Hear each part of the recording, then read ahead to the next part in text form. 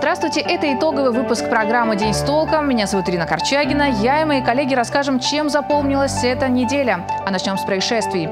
В селе Романово женщина погибла в пожаре из-за поджога сухой травы. Несчастный случай произошел накануне.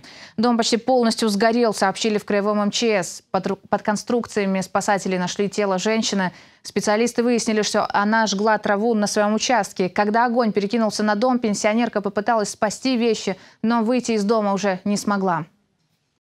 Порядка 400 килограммов мертвой рыбы своими силами убрали жильцы одного садоводства в Барнауле. Пару дней назад люди заметили, что на их излюбленном озере вся рыба всплыла, а позже начала гнить, и все это привело к ужасному запаху. Почему так случилось и что делать дальше, расскажет Дмитрий Дроздов. Если нет, то будет. Обещаю, что Зимой гребли снег, а с приходом весны – рыбу из озера. Местные жители одного из садоводства Запельмисева этим занимаются уже пару дней. Инициативной группой собрались и приняли спасать любимое место от уже мертвой рыбы. Тут как бы каждый летом, каждый день все отдыхают. Большинство вечерами как бы, ну, нормально все. То есть шашлыки жарят, люди, ну, отдыхают просто на природе. А как думаете, причина почему? Такое стало? Я думаю, причина потому, что когда делали скважин, скважину, ремонтировали и председатель, я думаю, что сливают сюда, вот из-за этого получилось. Слив что? Ну вот как воду сливали сюда, а, когда ну... прокачивали кто Я думаю, из-за этого. За пять часов совместной работы активисты собрали порядка 20 мешков с мертвой рыбой. Это примерно 400 килограмм. И сейчас они всерьез переживают за состояние воды. В скором времени местные жители отвезут пробу воды на экспертизу. И там уже будет ясно, будут ли люди отдыхать на этом озере. Причина еще в том, что люди сами не любят природу, к сожалению. Сами э, садоводы, прежде всего, должны быть тоже в этом заинтересованы мы ругаем председателя, но мы и сами тоже должны думать об этом, о нашем будущем, о наших детях и вообще в целом о ситуации, если нам нужно качество водоема, который мы используем, отдыхаем здесь в свободное время после работ и так далее. Потому что озеро хорошее, и не каждое садоводство может похвастаться таким прекрасным водоемом. Мы, в свою очередь, направим официальный запрос в СНТ, в котором произошла экологическая катастрофа, и продолжим следить за развитием этой ситуации. Дмитрий Дроздов, Владислав Ковалев. День с толком. Интересная статистика. Более 200 нарушений за апрель выявили сотрудники ГИБДД в отношении пользователей средств индивидуальной мобильности, в том числе электросамокатчиков. Из-за их неосторожности пострадало 8 человек, в том числе 3 ребенка. Самые частые нарушения – переезд пешеходного перехода вместо спешивания и поездки вдвоем на одном самокате. Также молодежь любит демонстрировать трюки на тротуарах в центре города. Всего в краевой столице более двух с половиной тысяч средств индивидуальной мобильности. Ранее в администрации города года рассмотрели возможность ограничения скорости движения самокатов до 15 км в час и запрет движения рядом с многолюдными участками на Малотобольской, проспекте Ленина, набережной реки Аби. Также госавтоинспекция увеличила число рейдов на водителей средств индивидуальной мобильности. В Барнауле продолжают массово травить бездомных собак. На этом фоне в городе развернулись нешуточные баталии между волонтерами, зоозащитниками и людьми, одобряющими действия док-хантеров. Дело доходит до угроз физической расправы и даже до драк. Подробнее смотрите в нашем материале. Ну что, травят, да? Начали травить собак. Новый рынок. За три месяца в районе Нового рынка жительница Барнаула Наталья обнаружила тела трех собак. Щенок а, был мертвый, отравленный. Именно как бы причина отравления. А потом была другая собака, чуть подальше, около учебного заведения. И третья, это была собака уже из моей стаи, там на рельсах. Стаей Наталья называет порядка 10 собак, о которых она регулярно заботится. Они едят с рук. В принципе, да, вот убили собаку, которая ела с рук. А вот, а я стерилизую, а, щенков э, пристраиваю, то есть оплачиваю передержки, кормлю их регулярно, все какие-то вот эти вопросы. Причем я кормлю собак, чтобы они не выходили к людям, потому что голодные они идут искать еду. Женщина утверждает, собаки не агрессивные, однако многие жители города остерегаются бездомных животных и относятся к ним с опаской, считая, что прикармливать их нельзя. Так 10 декабря случился инцидент с одной из жительниц города. Она подошла с ребенком, не боясь а, там небольшой стайки собак, да, несколько собак было. агрессивно, со словами, что я тебе сейчас покажу, как ты будешь их кормить. То есть выбила у меня мясо, да, которое я же покупала. Ну и завязалась, конечно же, драка. С женщиной Наталья пошла на мировую, но, по ее словам, это не единственный случай угроз и обещания расправ от недовольных барнаульцев. Смотрите, какое, какие огороды. Все в удобрениях у них. И лают, и дерутся. Тут их целая стая бегает. Да вы что, в своем уме? Я вы о чем говорите? Их здесь стая. И посмотрите, какие огороды. Так эту стаю-то она нарожала. Ну, я нужно знаю. убирать было проблему. Мамку нужно было стерилизовать. Вот это вот безучастное отношение к животным. И так абсолютно у нас все обстоит. а, Систему обращения с бездомными животными нужно пересматривать, считает женщина. А пока волонтеры находят десятки мертвых собачьих тел. Сейчас объявлены там тендер да, на отлов животных. Животное ловится, а сидит там оно сколько там а, дней, да, но за такой короткий период невозможно найти хозяина и адаптировать. Проблема безнадзорных животных поднимается регулярно, но с мертвой точки дело не двигается. Дворняги по-прежнему бегают стаями по городу, и это, по мнению многих жителей, опасно и страшно. Но стоит ли решать проблему с помощью отравы и удавок? Быть может, пора начать с людей? Юлия Щепина, Андрей Печоркин. День с толком. Похитили вместе с жилищем. Юные спортсмены украли в Белокурихе улей вместе с пчелами. Воришки оказались э, туристами 14 и 16 лет. Они приехали из Новосибирской области на сборы. Накануне в местную полицию обратился пчеловод. Мужчина рассказал, что на его пасеке украли улей с семьей пчел и сотами, наполненными медом. Оперативники изучили видеозаписи и установили личность трех воришек.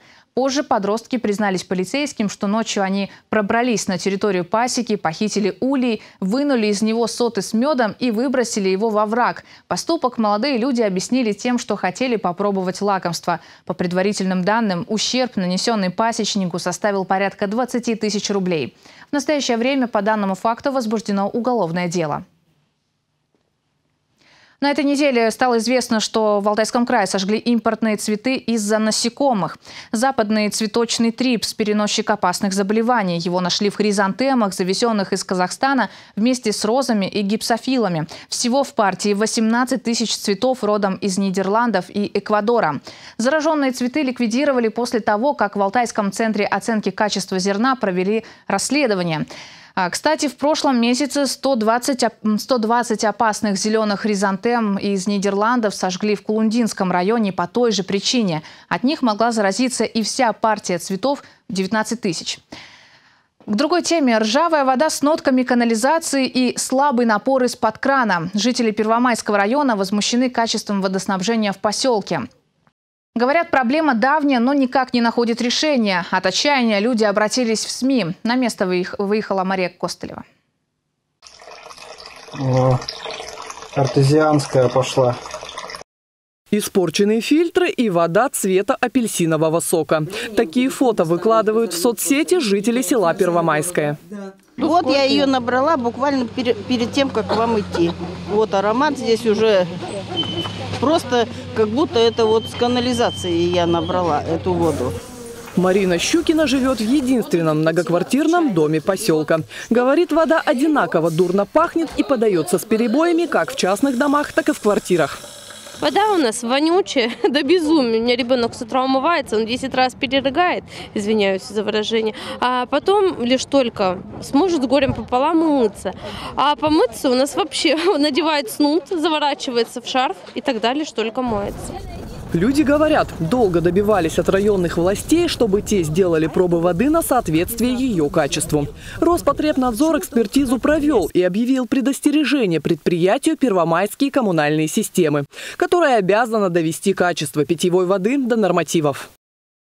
Проведен отбор проб питьевой воды из распределительной сети по адресу Алтайский край, Первомайский район, село Первомайское, микрорайон Комсомольский, дом 34, дробь 1 на микробиологические, органолептические санитарно-химические показатели. Проба питьевой воды из распределительной сети по вышеуказанному адресу не соответствует требованиям по органолептическому показателю мутность и санитарно-химическому показателю марганец общее железо. Директор коммунальной организации в свою очередь пояснил, что должные мероприятия по обслуживанию провели еще в начале марта. Когда были жалобы у нас ну, с частных домовладений, то есть в селе, да, там была грязная вода, были такие моменты, то есть люди обращались, мы сброс сделали, систему промыли, все устаканилось. То, что касается МКДшных домов, мы их, ну, то есть многоквартирных домов, мы их не обслуживаем. Мы подаем воду, а в каком состоянии у них тут находятся стояки, которые подают им воду, мы не знаем, отвечать за них мы тоже не можем. Однако люди говорят, что после промывки качество и запах воды не изменились. Кстати, проб воды, подтверждающих, что действия коммунальщиков улучшили качество воды, ни жителям Первомайского, ни нам не предъявили. Ну, вы же понимаете, что мы в рамках полномочий, по большому счету, сельсовет и вода – это совершенно разные структуры. Но эти коммуникации уже не сегодня появились и не вчера, а сегодня э, запах от э, воды. Ну, трубы старые, все мы это прекрасно понимаем. Оттуда, скорее всего, запах, застой, наверное, не, не, не слишком большой разбор воды, по всей видимости, идет в селе. Глава Первомайского района Юлия Фролова заверяет, что администрация района совместно с МУП все работы проводит своевременно. А запах из крана – это отчасти вина талых вод. Как только э, более-менее падут э, паводковые вот эти вот ситуации, наш МУП 100% будет промывать башни 100% будет промывать систему водоснабжения. Вот только люди обращались с жалобами еще до разлива талых вод. А значит, паводок тут ни при чем. Кстати, еще 2 апреля мы направили официальный запрос в администрацию Первомайского района, чтобы нам обозначили сроки по устранению проблемы. Ответ в положенные по закону 7 дней мы не получили. Люди говорят, что с ними местная власть не контачит. Что ж, отправим повторный запрос в надежде, что на бедствующих людей обратят внимание. Мария Костолева, Владислав Ковалев, Дмитрий Денисов. День с толком. Тем временем рыбы из Барнаульского парка «Изумрудный» на воду не жалуются. Декоративные карпы удачно перезимовали. Напомним, горожане сильно переживали за жизни маленьких обитателей зеленой зоны. Неравнодушные даже были готовы еще осенью поместить рыб в другие водоемы, но морозы сорвали все планы. Проблема решилась благодаря регулярной очистке поверхности озера от снега и работе аэратора. Это устройство всю зиму подавало кислород и не давало водоему полностью замерзнуть. В Алтайском крае выявили первого заболевшего сибирским клещевым тифом в этом сезоне. Им стал мужчина из Рубцовска. Об этом сообщило Краевое управление Роспотребнадзора. Заболевших другими клещевыми инфекциями пока не зарегистрировано. Напомним, клещевой сезон в регионе стартовал еще 28 марта. За это время в поликлинике с жалобами на присасывание клещей обратились 67 человек, из них 27 детей в возрасте до 14 лет. И переходим к другой теме. 170 участков дорог и 36 тротуаров отремонтируют в краевой столице. Особое внимание к проспекту Строителей, улице Аванесова и другим проблемным участкам. Также ремонт покрытия струйно-инъекционным методом проводится на южном тракте от ленточного бора в сторону лесного тракта. Где еще будут производиться работы, расскажем далее. В Барнауле с приходом весны особое внимание уделяется состоянию дорог и пешеходным тротуарам. В этом году по решению главы Барнаула Вячеслава Франка на текущий ремонт дорог из городского бюджета выделены дополнительные средства. Всего планируется направить на эти цели около 170 миллионов рублей. Общий объем выделенных денежных средств в утвержденном уже бюджете, в рамках которого мы сейчас с вами работаем, без малого 4 миллиарда рублей. Все программы, в которых город участвовал, мы продолжаем участвовать. Это безопасные качественные дороги, это наши инвестиционные проекты. Один из проблемных участков – дорога по улице Аванесова. Она является одной из центральных улиц города Барнаула. Общей протяженностью почти 2 километра. Работа здесь выполняется горячей асфальтобетонной смесью.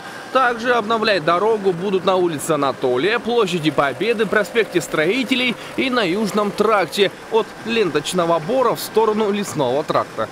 Практически 2 миллиарда денежных средств это выделено правительством Алтайского края. Сегодня мы с вами в полном объеме приступаем к ремонтным работам. Будем работать, будем стараться привести город в порядок. Все-таки еще раз вернуться к планам работ, а, посмотреть пересечение наших коммунальных служб. Сегодня мы обсуждали переход работы как можно в ночное время, там, где это не мешает проживанию. В рамках выделенного финансирования будут проводиться работы по ремонту дорог, тротуаров, колодцев, остановочных площадок, подходов к пешеходным переходам, а также уложены искусственные дорожные неровности. Общая площадь ремонтных работ составит более 100 тысяч квадратных метров. Дмитрий Дроздов. День с толком. Теперь точно. С 1 мая проезд в общественном транспорте Барнаула подорожает на 5 рублей. Новая стоимость составит 35 рублей. По словам представителей администрации, повышение проезда вынужденное и связано с ростом цен на бензин и запчасти. Более того, перевозчикам нужно повышать зарплату водителям. Ожидается, что рост тарифа повлечет улучшение качества обслуживания пассажиров – во всяком случае, этого ждут жители краевой столицы. А мы, в свою очередь, напомним, что при оплате транспортной карты стоимость проезда будет ниже. По единому проездному и проездному для граждан цена составит 27 рублей, с электронным кошельком – 29 рублей. Кстати, жители Барнаула переживают, что могут остаться без маршрутки номер 6. В социальных сетях комментаторы на этой неделе э, обсуждали, что этот маршрут является востребованным и с точки зрения стабильности – не самым худшим. Дело в том, что перевозчика, обслуживающего этот маршрут, лишили права на работу с ним. Такое решение 11 апреля принял Краевой арбитражный суд, удовлетворив иск городского комитета по дорожному хозяйству и транспорту. Последний счел обслуживание маршрута неудовлетворительным. Однако всех обеспокоенных городские власти уверяют, работа маршрута останется без изменений. После вступления в силу решения суда будут проведены конкурсные, проведи... Э, конкурсные процедуры по определению подрядчика. На этой неделе стало известно, что трамвайное кольцо в районе Нового рынка демонтируют в начале мая. Полностью все работы на путепроводе на проспекте Ленина завершат до конца июня этого года. Работы с ограни... Э, будут не связаны с ограничением движения в дневное время. То есть работы по укладке плитки э, будут проводиться в ночное время. Да, будем в ночь где-то ограничивать движение, но э, дневного трафика и неудобств это для жителей города не создаст. На объекте еще предстоит укрепить откосы насыпи путепроводов, покрасить железобетонные и металлические конструкции, уложить на межпутевом пространстве бетонную плитку, обустроить, обустроить системы водоотведения и провести общее благоустройство территории. К другой теме. Цены на недвижимость взлетели до небес, но люди при этом не перестают в нее инвестировать. В рамках проекта «Время трендов», который организовало издание «Толк» совместно с журналом «Автограф», ведущие застройщики и бизнесмены Алтайского края попытались ответить на важный вопрос, а стоит ли сейчас инвестировать в жилье или лучше направить денежные потоки в другой, более прибыльный сектор. Подробнее об актуальной встрече расскажет Валентина Аскерова. Высокая ключевая ставка Центробанка внесла свои коррективы в рынок жилья. Инвесторы, которые смотрели в сторону коммерческой недвижимости, переориентировались. Одних начали привлекать земельные участки, вторых – вклады под хороший процент. Частично вы правы. То есть не все такое, что там, раз все ушли и куда-то ушли в другой сектор. А много средств свободных а, ушло сейчас в банковский на сектор депозит. и все на депозитах. Ну, как бы как все те, кто ушел в банковский сектор, они, соответственно, ушли либо там в длительные, либо в короткие депозиты, ну, соответственно, там, сейчас у нас в районе 16 годовых, это, да, то есть там, от 15 до 17 это примерно ставка играет, вот, и иногда даже это выгоднее, чем там, ты э, вкладываешься, там, не знаю, там, в коммерческую недвижимость, сдалевки, либо там покупаешь э, и сдаешь в аренду коммерческую недвижимость. Специалисты рынка недвижимости отмечают, как только ключевая ставка стабилизируется, с 16 опустится до 14-12, денежные потоки из банковского сектора вновь затекут на рынок недвижимости. Эксперты прогнозируют, что ставка начнет выравниваться уже во втором полугодии. Тем не менее, несмотря на отток денежных средств с рынка недвижимости, инвестиции в нее продолжаются. В фокусе внимания малоэтажное строительство. Небольшие уютные коттеджи сейчас пользуются спросом, отмечают предлагают застройщики на встрече «Время трендов». Люди берут ипотеку, чтобы сохранить свои деньги берут 6 миллионов ипотеки, льготные кредиты и дополнительно там а, свои а, какие-то средства. И мы видим на рынок, что было, гру- грубо говоря, два года назад 6 миллионов, сейчас стоит 10 миллионов. Угу. То есть, соответственно, люди хотят сохранить свои деньги, поэтому очень большой запрос на маленькие дома, грубо говоря, выходного дня. Если рассматривать грамотное инвестирование в недвижимость, эксперты круглого стола всеми руками голосуют за жилье в центре города. Престижность проживания, надежность инвестиций. Квартиру в центре однозначно легче продать или сдать в аренду. В ближайшее время мы подготовим специальный репортаж, в котором тему недвижимости рассмотрим со всех сторон. Валентина Аскерова, Владислав Ковалев, Алексей Фризин. День с толком. Отличная новость. Э, Тимофей Карнаушенко, житель Михайловского района, после трех месяцев лечения в Москве возвращается домой. Десятилетний мальчик и его мама прямо сейчас едут в Барнаул. Напомним, в сентябре прошлого года после падения с велосипеда Тимофей получил серьезную травму головы и тяжелое осложнение. Несколько месяцев мама мальчика добивалась госпитализации в федеральный центр. Лечение там дало плоды. Ушли судороги, убрали трахеостому, трубку для дыхания, увеличился вес тела. А реабилитация показала, что все шансы на восстановление есть. Так мальчик гулял по Москве, хоть пока и не самостоятельно, но это уже прогресс, который можно назвать чудом. Сегодня за парнем следят и поддерживают не только родные и близкие, но и вся страна. Знаете ли вы, кто такие картвеллы, что они едят, как выглядят их храмы и о чем они поют в своих песнях? Речь идет о грузинах. На нашем телеканале вышел первый выпуск программы «Все к столу». В этой программе мы будем рассказывать об алтайских грузинах, вьетнамцах, белорусах, армянах, казахах и не только – как они сохраняют свою самобытность и как вообще оказались в Алтайском крае. А главное, почему решили остаться. Первый выпуск программы посвящен грузинам. Старшее поколение немножко посмеивалось, там говорило, что людей раньше туда ссылали, а вы, говорит, там добровольно туда идете, говорит, как на каторгу, что вы там забыли-то?